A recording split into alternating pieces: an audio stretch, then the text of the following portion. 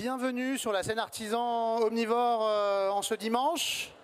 Je suis ravi de vous retrouver et on va commencer par une scène euh, assez fascinante. Et on va poser une question, on va se demander avec nos invités si faire la cuisine et si faire la cuisine ce n'était pas seulement remplir des assiettes, mais aussi les fabriquer. Pas seulement produire les contenus, mais aussi les contenants de la cuisine. C'est l'idée de ces deux époux, respectivement chef cuisinier et chef pâtissière du restaurant Accent, dans le quartier de la Bourse à Paris. Ces deux-là, à la faveur du confinement qui leur a offert du temps libre, ils ont décidé de créer leurs propres assiettes, que vous voyez là, afin de créer un jeu d'écho entre les supports et les mets de leur dégustation. Il faut dire qu'ils étaient lassés par la standardisation en matière de vaisselle, on va en parler. Romain et Ayumi se sont lancés donc dans cet, arsida- dans cet artisanat subtil, armés de leur intuition, de quelques bons conseils et d'un four qui monte à 1300 degrés, qui est dans votre salon. Ouais. Outre le travail de- autour de l'argile, des émaux, ils utilisent aussi, des poudres de coquillage, de carapace, d'os ou encore de végétaux dans une démarche de récupération de leurs déchets et d'éco-responsabilité. Bref, ce sont des enfants de la poterie, pourrait-on dire. Allons, enfants de la poterie. Moi, oui, mais elle. euh, un Mesdames et messieurs, Ayumi Sugiyama et Romain Maï.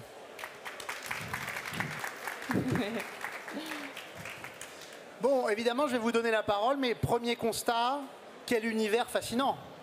On dirait des impacts euh, d'astéroïdes extraterrestres, ou alors des espèces de d'objets de contemplation un peu gothique noir, comme ça, une espèce de romantisme un peu, euh, un peu nocturne. Comment vous est venue l'idée alors de, de vous lancer là, dans, cette, euh, dans, dans cette aventure de la poterie, de la céramique? Bah, en fait, on a toujours aimé euh, la poterie en général et les assiettes et tout ce qui, tout ce qui entoure l'art de la table. Et en fait, on s'était dit qu'un jour, ça serait bien de pouvoir faire nos propres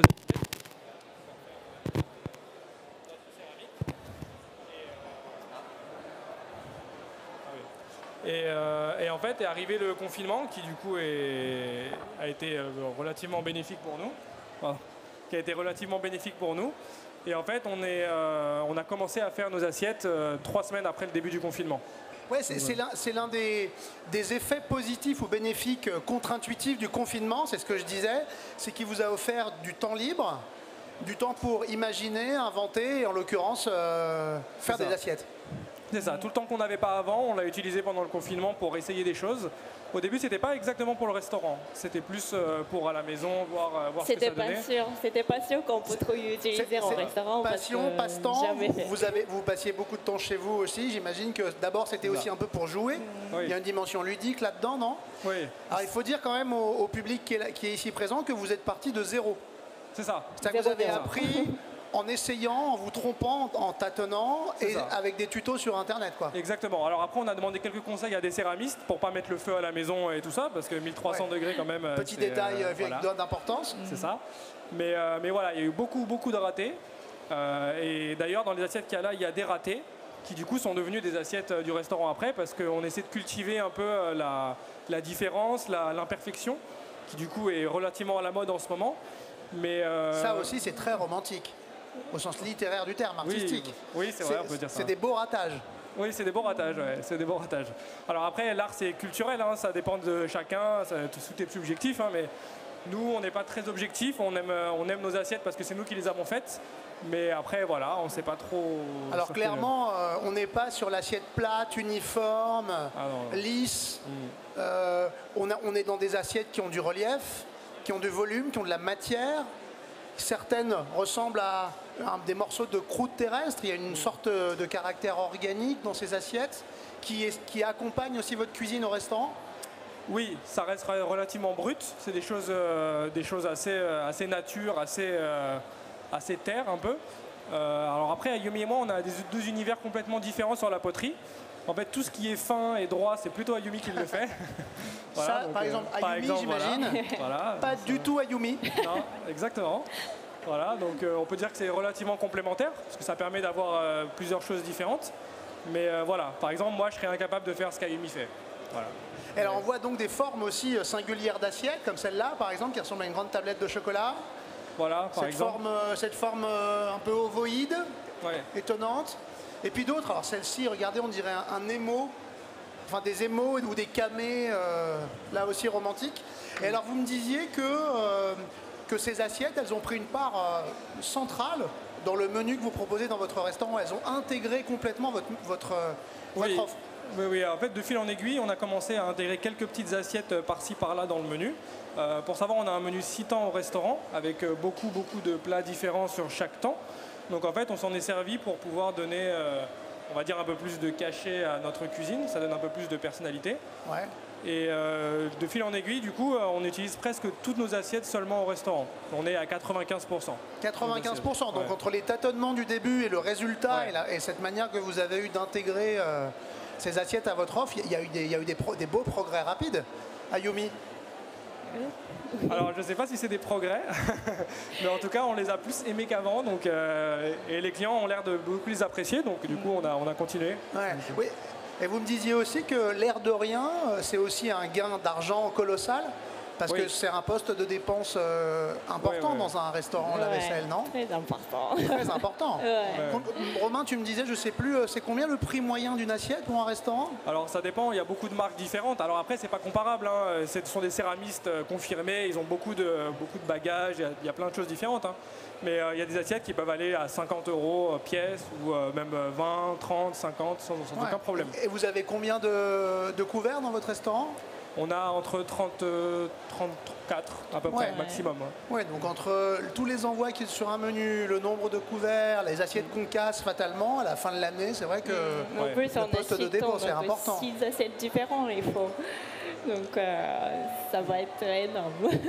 Bah ouais, ouais, non, bien sûr, c'est c'est aussi important. Simplement, disons deux mots sur Accent, votre restaurant qui se trouve euh, place de la Bourse et qui est auréolé d'une étoile, C'est ça un restaurant gastronomique. Oui Ouais. Oui, c'est ça. Il n'y a pas grand chose à dire. Après, nous, on a un style de cuisine qui, euh, qui, qui- qui nous est propre, on va dire. On aime, euh, on aime travailler, bah, les abats, c'est un peu à la mode maintenant, mais on est plus sur des, des- une cuisine euh, d'association, de contraste, en fait. On- le sucré avec le salé, euh, le terre-mer, l'acidité, l'amertume, tout ça est un peu les mélangé. contrastes comme ça, C'est ça. puissants. Voilà, c'est un peu le principe d'accent, en fait. Accent, c'est mettre, euh, mettre le point sur des choses, euh, des choses qu'on aime ou qu'on n'aime pas. tonique, Voilà. une espèce de tonicité dans Voilà, le plat c'est ça. comme sur les accents. C'est ça. Et du coup, ça a bien marché avec les assiettes, parce que du coup, euh, l'assiette met aussi un accent sur plein de choses. On, on a vu qu'on pouvait jouer avec euh, les textures de l'assiette pour pouvoir apporter des goûts différents aussi. Euh, on s'en rend pas forcément compte, mais la texture, ça donne beaucoup de, beaucoup de, de- de crédit à ce qu'on met à l'intérieur. Ouais, et puis un repas, ça commence aussi par ce qu'on voit. C'est sans Oui. doute euh, le premier contact qu'on a avec un plat qu'on nous sert dans un restaurant, bah, c'est la vue. Oui, Hein, si manger, c'est une expérience euh, un peu synesthésique de tous les sens. Mm. Et la promesse d'un plat dans un, type d'assiette ou dans un autre change complètement l'attente qu'on a sur un plat. Oui, c'est ça. Non, j'imagine que d'être servi sur une assiette comme ça ou sur une assiette euh, Oui. lisse et conventionnelle, euh, les Mm. attentes poétiques, euh, émotionnelles, gustatives sont, sont, sont chamboulées, n'ont rien à voir. Hmm. En fait, dans des assiettes comme ça, on met des choses très, très douces à l'intérieur, quelque chose de très suave, de, un peu comme euh, de mousseux, quelque chose de, de- de- de très moelleux, avec un contraste d'assiette qui est très rugueux, qui est presque, je vais pas dire, voilà, un peu dérangeant au toucher, Ouais. mais c'est le contraste entre les deux qui fait que euh, le plat est différent des autres que, que- que voilà. Alors que ce plat-là, on pourrait le retrouver dans des restaurants différents, avec des belles assiettes bien lises, bien propres, mais bon. C'était, euh, c'était pas notre style, donc du coup. Bien euh, sûr. On va le voir parce que vous allez nous montrer concrètement comment vous utilisez ça euh, de manière consubstantielle à vos plats. Et ça, c'est assez génial. C'est-à-dire que sur certains plats, l'élément le plus important, c'est l'assiette. Et le plat, je Oui. pense notamment au beurrier, par exemple, qui est assez génial, qu'on va voir tout de suite, où l'ajout du- de, de- de- de l'aliment vient prolonger, compléter l'assiette. C'est-à-dire que- là où vous atteignez, une- euh, là où votre cuisine devient presque architecture, c'est qu'elle pense les volumes et qu'elle part de l'assiette. Hein, vous me disiez, il y a des plats qu'on crée maintenant à partir de l'assiette C'est ça. et pas l'inverse. Ouais. Et ça, c'est fort. Bah, en fait, euh, euh, il y a beaucoup de chefs maintenant qui travaillent avec des céramistes, euh, qui discutent avec eux et qui même tournent un petit peu avec eux. Mais en fait, il y a toujours une barrière entre les deux cerveaux pour pouvoir créer et penser quelque chose. Du coup, ça perd un peu de spontanéité entre les deux. Donc il y a toujours, euh, je sais pas, il y a toujours quelque chose qui manque entre les deux. Le fait de le faire soi-même, en fait, on peut très bien partir d'une idée à, à créer quelque chose, une assiette, quelque chose comme ça, et la changer tout de suite après pour se dire ah bah non, en fait, on va faire ça comme ça, et en fait, on va changer ça et on va changer ça. Donc c'est un espèce de gros bordel dans l'assiette, dans la tête aussi.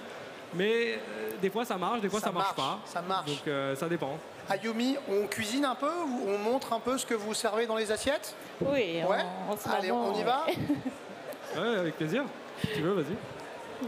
Par quoi vous voulez qu'on commence alors Euh, bah, moi j'ai déjà préparé quelque chose tout à Ah l'heure. bah voilà. Ici, Oh. ici, vous avez du boudin, donc c'est du boudin noir. Donc voilà, qu'on a, qu'on a retravaillé un peu comme une bavaroise en fait. C'est, euh, on a mis un tout petit peu de gélatine dedans, on a fait une crème de boudin, des oignons, on a mis de la pomme dedans, et on lui a donné une forme de cochon. Moulé en tête de cochon. Voilà, c'est ça, parce que boudin, tout ça, ça va très bien, sûr. avec. Pour le ludisme aussi. Voilà, c'est ça. Et en fait, on les a mis dans des assiettes différentes pour voir un peu, euh, un peu ce que ça peut donner. Ah, l'effet que ça produit C'est d'une ça. assiette à l'autre. Génial. Euh, Il y a une chose aussi de laquelle j'ai pas parlé, c'est que pour nous, c'est impossible de faire deux fois la même assiette. Ça veut dire que, par, f- ouais. par exemple, que ce soit pour la forme, la forme, c'est relativement plus facile. Mais pour les couleurs et les textures, c'est quelque chose de vraiment, vraiment compliqué. Donc, ça se voit qu'on n'est pas céramiste, hein, parce que bon, euh, voilà. Mais, euh, mais voilà. Du coup, euh, voilà, au restaurant Accent, si jamais vous venez, vous verrez des choses que comme ça, avec que des assiettes différentes. Et ça, ça affirme votre singularité. Alors c'est très amusant, ça, l'idée que, en fonction de l'assiette, ce petit cochon raconte tout à fait autre chose.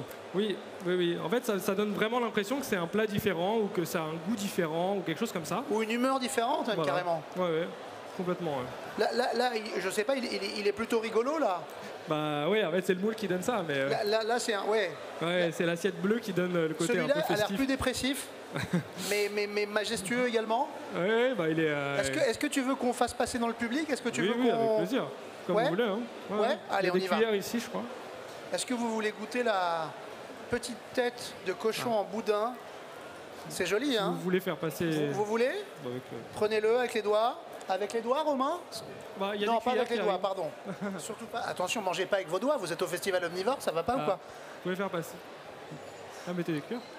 Ça arrive, ça arrive. Les, les cuillères sont là. Ah, allez-y. Ah oui, vous envoyez, pardon. Tenez. Ouais.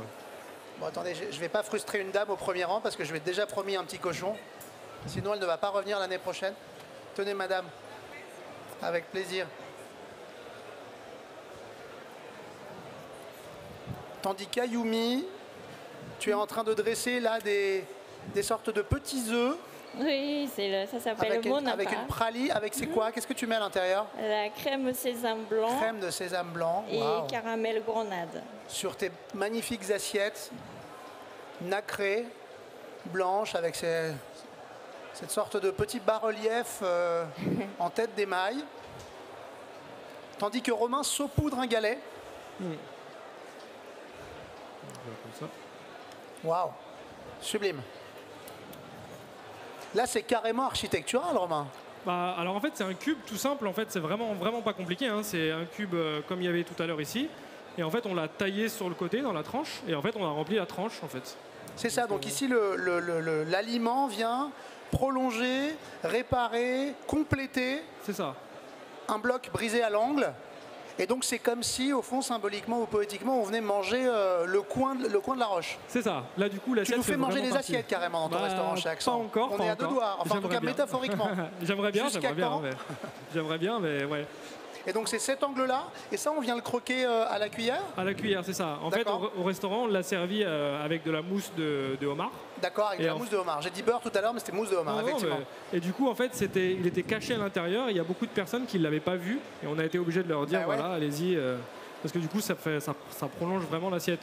Ah ben là, euh, il y a un vrai mystère. On t'apporte ça, tu, tu- d'a- de, prime abord, Mm. tu sais pas ce qui est comestible et ce qui l'est pas. c'est ça. Je pense qu'il y a des gens qui ont déjà croqué le mauvais angle, qui le prennent à la main. Non, tu leur expliques, Alors, tu les ouais. guides quand même. Croquer, il faut y aller vraiment. ouais, ouais, euh, pour éviter le- les, les frais dentaires. Ouais, Après, c'est un peu compliqué. Mais- Non, mais c'est magnifique. C'est-à-dire qu'il y a aussi un jeu avec le mystère, avec le cachet, avec ce qui se mange, ce qui se mange pas sur une assiette. Hmm. Il y a un vrai recher- une vraie recherche d'effet, quoi. Bon, ça aussi, on va peut-être le faire goûter à des chanceux.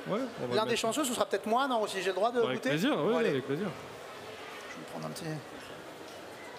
Alors. Donc j'y vais, hein, vous voyez, le jeu. Bon.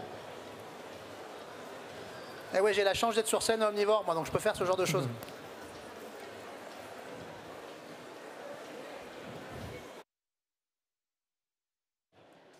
Hmm. Et on a l'impression à la fin, effectivement, d'avoir mangé un morceau du caillou. Ça nous fait imaginer la saveur que ça pourrait avoir. Euh. Ayumi, Oui. c'est prêt? On peut, on peut envoyer les œufs? euh, C'est des tout petits œufs de dragon. Oui. C'est ça, comme dans Game of Thrones? Bah, en fait, normalement, c'est le. Comment ça s'appelle? Le, Monaka le- Tapioca? Non. Euh, Oui, non, mais t'inquiète, prends ton temps. non, non, non, c'est le- euh, Non, c'est le. Du- Monaka. Monaka. Ah, Monaka. Ça s'appelle le monaka euh, en japonais. C'est avec farine de riz D'accord. et, euh, et de l'eau et sucre, ça souffle en fait. Génial. Et à l'intérieur, euh, il y a la crème sésame blanc et euh, caramel gournade. Et là, ça crée carrément un mini paysage, quoi. Tu vois, on a l'impression que on est sur une sorte de surface un peu lunaire, Mm. qu'une sorte de dragon étrange a pondu un œuf Oui. et qu'on va venir le cueillir un peu. Hein. Non, mais ça crée un, univers, c'est un très uni- ouais, ça joli, crée un univers de beau. imaginaire Mm. assez beau, assez fort. Bah, on va faire goûter au public, hein, encore. Oui.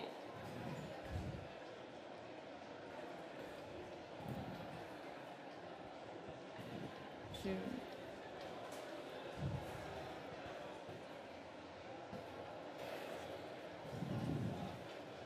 Et alors, certains de- de ces- des plats que vous êtes en train de servir, vous avez inventé le plat à partir de l'assiette? Euh, Sur certains de ceux-là? Ouais, ça dépend, ouais. Ouais. Ça dépend. Par exemple, bah, pour le caillou, oui, bien sûr. Pour Ouais, le, cube, euh, le cube, ça ressemble beaucoup.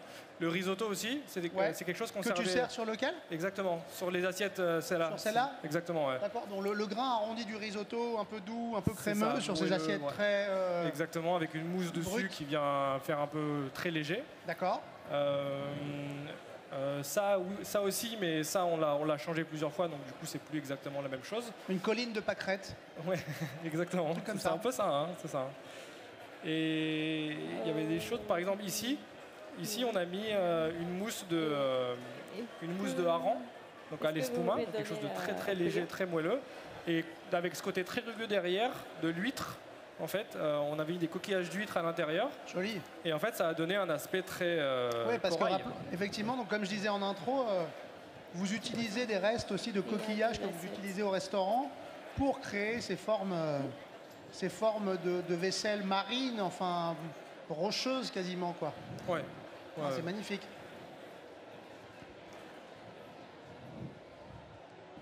Est-ce que, est que je peux goûter un œuf, moi? Je peux prendre celui-là, par exemple, merci. Mmh, C'est léger. délice. Très bon. Tu dresses encore des choses, Ayumi? Non, pour moi, c'est juste ça. D'accord, super. Alors, et dites-moi, euh, la poterie, c'est devenu aussi un peu un hobby? Tiens, vous faites, vous faites aussi ça un peu le week-end, le dimanche soir? J'ai compris. Quoi, c'est une question? J'ai pas compris, pardon. Non, je demandais si la poterie, Oui. chez vous, à la maison, c'était aussi devenu un hobby. Oui. Vous vous dites, euh, style, Oui, euh, oui. chérie, ce soir, c'est poterie? Euh, en fait, je pas. Enfin, on fait pas ensemble, en fait. Ah, pas trop. Ah, pas trop ensemble. Oui, parce que- pas trop. ouais. Ch- Quand j'ai envie, je fais. Et quand j'ai envie. euh, Parfait, fait. c'est très bien. Ouais. enfin, c'est aussi et des une manière. fois, on se bat parce que. Des fois, vous vous battez, d'accord. Avec quels instruments Enfin, Est-ce que tu peux nous dire euh, à main nue? Oui, parce que nous, pour euh, tourner, on Bah n'a oui. qu'une seule machine. Donc, euh, Eh ouais. est-ce que je peux une table, un four, et il faut euh, bien cohabiter, ouais, quoi. ouais.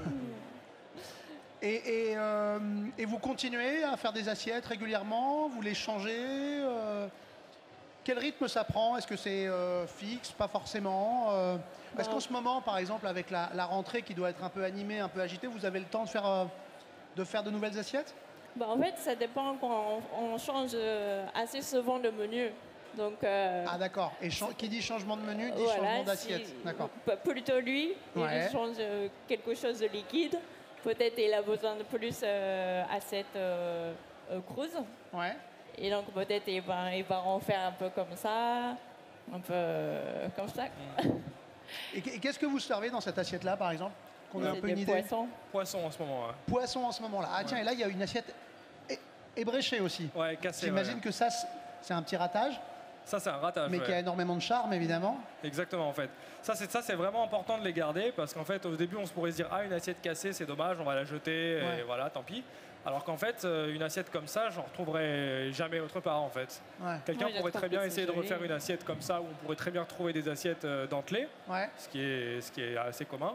Mais la, la- la craquure fait que la- l'assiette a une personnalité que je ne retrouverai pas ailleurs, donc il faut la Comme garder. disait l'autre, heureux les fêlés car ils laissent passer la lumière. Par exemple. C'est le cas de cette assiette. Mm. Bon, mais c'est magnifique. Euh, on a tout goûté, tout a été envoyé. Oui, carrément. Est-ce que vous, avez déjà, vous aviez déjà vu des assiettes comme ça? Non, quand même pas. Non, j'imagine que c'est euh, assez, assez singulier, assez envoûtant. Ça donne envie d'aller chez, chez Accent, en tout cas. Ayomi, Romain, bah, merci beaucoup. Merci beaucoup. Bah, merci et, à puis, vous. euh, et puis à très bientôt. Avec plaisir. Avec Et plaisir. vous hein. battez pas trop fort quand même pour la poterie. hein. non, non, non, Je sais pas, va. organiser un petit truc, c'est un, table, un tableur Excel ou un agenda. ouais, ouais. On est pour la paye ici, vous savez, notamment des ménages. Merci beaucoup, on peut les applaudir.